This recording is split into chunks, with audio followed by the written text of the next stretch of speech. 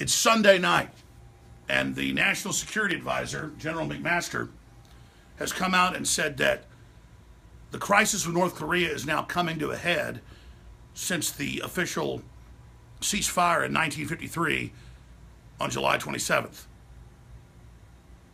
North Korea has never backed down before, firing missiles at Japan, testing nuclear weapons. But it appeared on the 15th that they had backed down. But then, as soon as the 16th rolled around, they tested an ICBM aimed at Japan, but it blew up on the launch pad. We covered that yesterday. The reason this is so important is North Korea is threatening to nuke its neighbors. North Korea is threatening to attack Japan, South Korea. And China, after negotiations with President Trump, said, we're going to come in and threaten to basically militarily attack them if they launch a provocation. So as soon as the press reported, as we did, that North Korea had finally blinked, it appears in a face-saving activity, his generals blew up a missile, probably one of those dummies they admit was fake, that was in the parade uh, two days ago, on the launch pad. But regardless, why is it still coming to a head? We have to ask General McMaster that, and he breaks down the reasons. It's on Infowars.com. It's on CNN. General McMaster, all options on the table for North Korea. McMaster, North Korea coming to a head.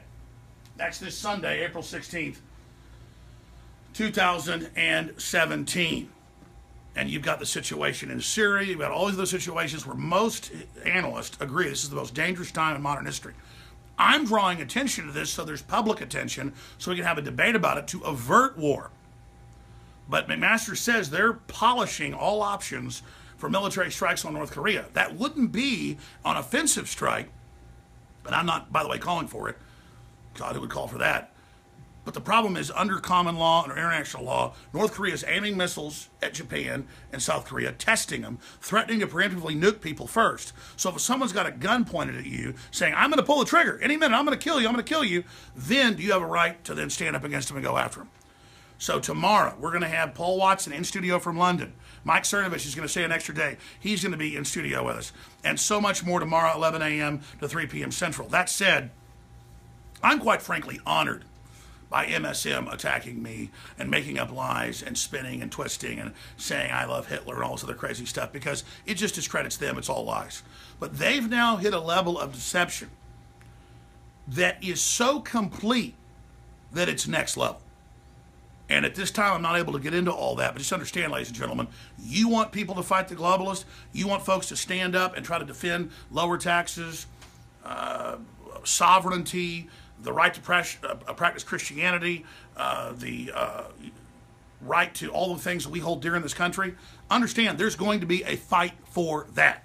And there is a fight going on for that right now. And I don't like to brag, but people need to know why we're attacked second only to Trump.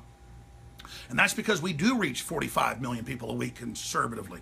We do reach some weeks over 80 million. The globalists are scared of you having a focal point, you believing you can take action. We haven't even posted on InfoWars. I'm so understaffed. Friday, hundreds, or, they say over a thousand, but hundreds attacked uh, uh, out of the thousand anti free speech demonstrators in Berkeley. Hundreds of them attacked the libertarian conservative nationalist in Berkeley. They'd already beat women up many times and beat others up and shut down a bunch of different events for Milo and others. This time, I saw the images on the news and I, and I saw it on Instagram and Twitter, but not on Infowars.com. And I'm not bitching, I'm just saying we're that undercrewed on the weekend with like two or three people that we didn't even cover that InfoWars folks battled and stood up and ran over those cowards. And it was amazing. I did tweet out myself uh, the image of what they were doing, but this is amazing. We're not calling for violence. They were physically attacking like Nazi brown shirts. They were going after people, famously beating up women, saying no free speech. And to see Info Warriors at the tip of the spear was amazing.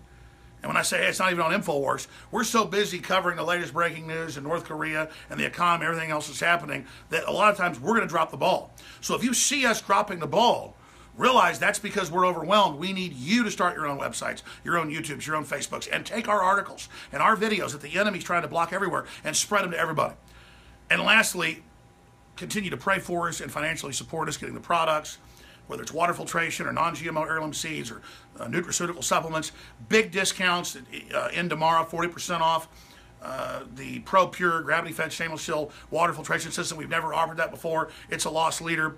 A lot of other big specials in tomorrow on X2 and other products. That's how we fund ourselves is you. So, again, thank you for the support.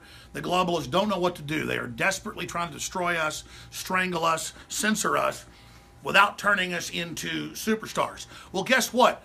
Freedom's already popular. InfoWars and our viewers and our community is already one of the dominant forces in the world. So we don't need you to say we're, quote, stars. We're not stars. We're here on this planet like real people living our lives, trying to have a future. You're the ones in our business trying to be dominant, trying to dominate us. So you look for a fight, you're now getting one. So, listeners, you can feel the quickening happening. You can feel the energy levels rising. You can see all over the world evil coming out of the gates like gladiators against us. This is the time to pray, to be focused, to be involved, and to be supportive and to spread the word. Call C SPAN, call local talk radio, spread our links everywhere. Let folks know InfoWars is under massive attack because you're under massive attack. Again, I want to salute the info warriors of every race, color, creed, you name it, who bleed red blood and want freedom. I want to salute you for your actions. And I wanted to give Trump a victory because it was a victory. North Korea's never backed off in a missile test or a, or a, or a, a bomb or hydrogen bomb test. They didn't do it on the 15th. Then on Sunday, that was late Saturday our time, Sunday their time, they detonated some missile that blew up on the pad. And, and I see the disinfo trolls. Jones claimed it was victory for Trump. They actually did fire the missile. They were going to test a, a bomb as well. North Korea did back down, and that is a very good sign. Trump wants peace. McMaster, I'm not demonizing McMaster, don't know enough about him, and I've studied him, but he may be a good guy. He, it, it, just like we told you a week after, he wants a wider war in Syria when most analysts say it's a total nightmare and we're on the wrong side. So we're watching this, we're involved, but here's the deal. Trump's not perfect, I'm not perfect, you're not perfect. But the globalists and the media want us to get pissed if he isn't perfect and doesn't give us instant gratification every time, so we get all pissed and take our take our toys and go home from the sandbox. No, we're involved.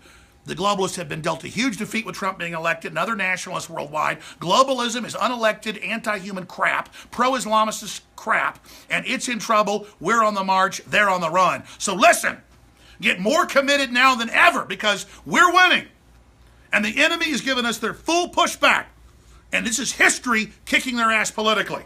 So spread that link, Infowars.com forward slash show. Coming up tonight Infowars.com and on the Facebook and on the Periscope and on the YouTube. We're doing live feeds with myself, Paul Watson, Mike Cernovich, and others here in the ATX Central Texas. We're retaking Texas. We're retaking America.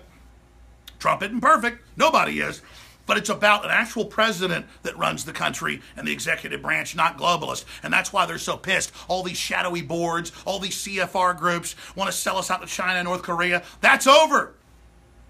Does, does, it mean Trump won't be a strongman at some levels? Absolutely, he will. The point is, this is about America reasserting itself. So get ready. That's why the enemy's so scared. It's tripled their lies. And guess what? It's like you drop hydrogen bombs on Godzilla politically you only wake his ass up. So the sleeping giant is waking up, and so get ready, everybody, from our audience, our viewers, the activists, the true patriots out there, and for myself and everybody else. You can feel the energy level rising, so get ready to go to the next level. Infowars.com forward slash show. Now spread that link.